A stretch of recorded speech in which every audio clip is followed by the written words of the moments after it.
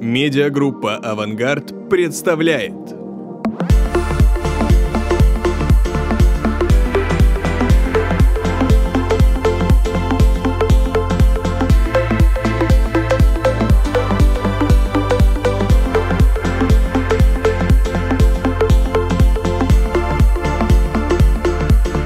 Мы уже услышали в ряде докладов э, рассказы о фактической ситуации с тем, что поправки к закону приняты.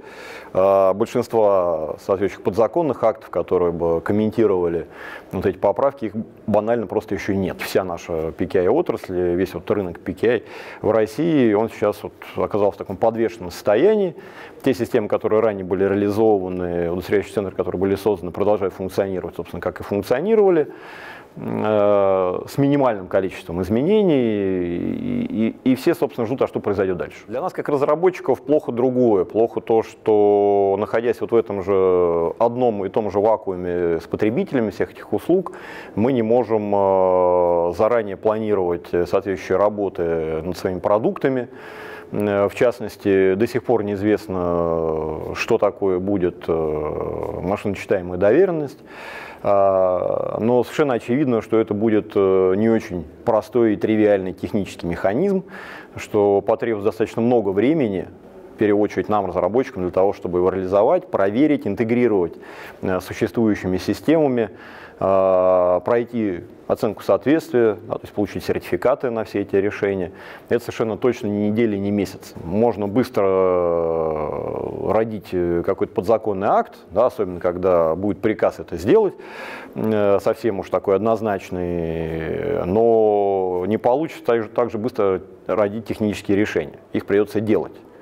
И мы здесь видим основную проблему. Через год мы, э, я сильно надеюсь, опять все вместе встретимся на PKI форуме 2021.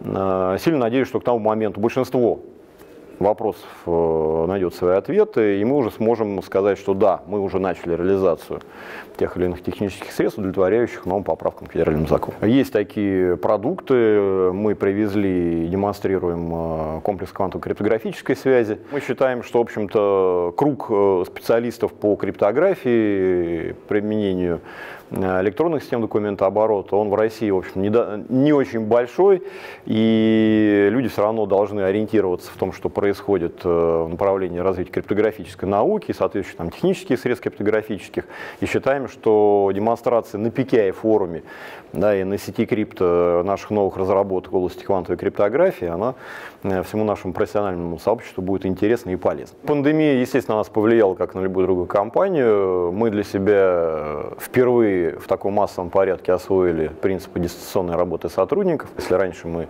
достаточно скептически к этому относились, то сейчас мы стали рассматривать э, возможность э, перевода на удаленную работу а, не маленькой части своего трудового коллектива, естественно, в первую очередь это разработчики, с ними проще всего, ну, потому что люди работают э, на длинных проектах, могут работать удаленно, но в том числе ряд других ролей в нашей компании тоже сейчас, собственно, мы рассматриваем возможность перевода людей на удаленную работу. В этом отношении для нас это новое, интересное и, надеемся, в том числе и качественное э, изменение ситуации, которое, в общем-то, пойдет на благо нашему бизнесу.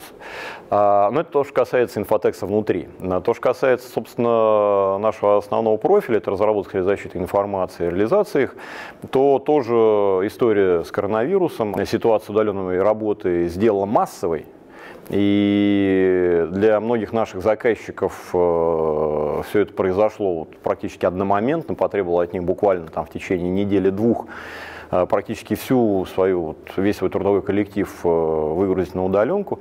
Э, Поэтому для нас это тоже было определенным вызовом, да, каким образом суметь оперативно помочь нашим заказчикам справиться вот с этой задачей, не потеряв при этом, собственно, темпы работы организации.